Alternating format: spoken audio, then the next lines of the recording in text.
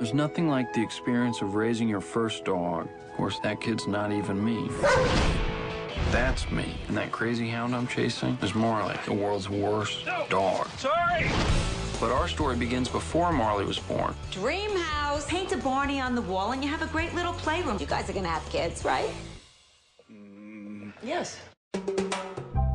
You want my advice? Get a puppy or something. I've never had a dog. There's nothing to it. You walk him, you feed him, you let him out every now and again. This Christmas, get ready for a surprise. One, two, three.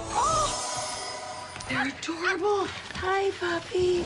Marley, this is our house. And now it's yours. Marley, you can't go through a screen door.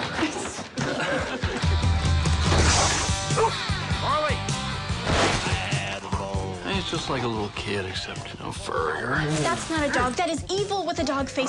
Yep. He made an answering machine and then went back and had the phone for dessert. A dog can only have one master. Which one of you has the most authority in your relationship? Well, maybe I'll stand over there for the beginning. I thought so. On December 25th, give your family the gift. It's just beautiful. Well, put it on. Where'd you Where'd do it go? with it? Oh, I put it right Well, here. it'll Just disappear. of Marley. Come here. Hmm? Marley, spit it No, no, out. go to the kitchen. Go to the kitchen. Come here. That's a hmm. good boy. Marley? Oh, honey, I don't see it. Dr. J's gonna send over a laxative.